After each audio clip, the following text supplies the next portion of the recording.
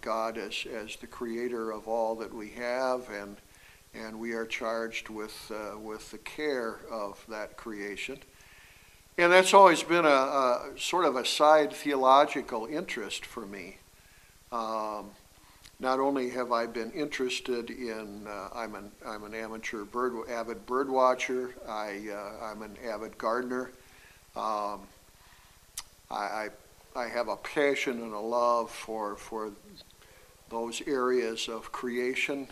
Um, but I've also been interested in trying to, to link that in meaningful ways with our, our tr- Christian tradition, with our faith tradition, particularly uh, I teach in our lay school for mission uh, in our synod. Uh, I teach systematic theology, and uh,